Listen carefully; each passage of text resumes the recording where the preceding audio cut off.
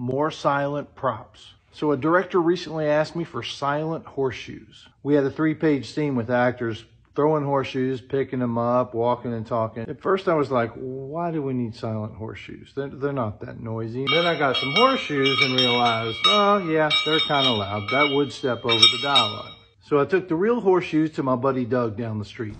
That's my buddy Dougie. Hi, everybody.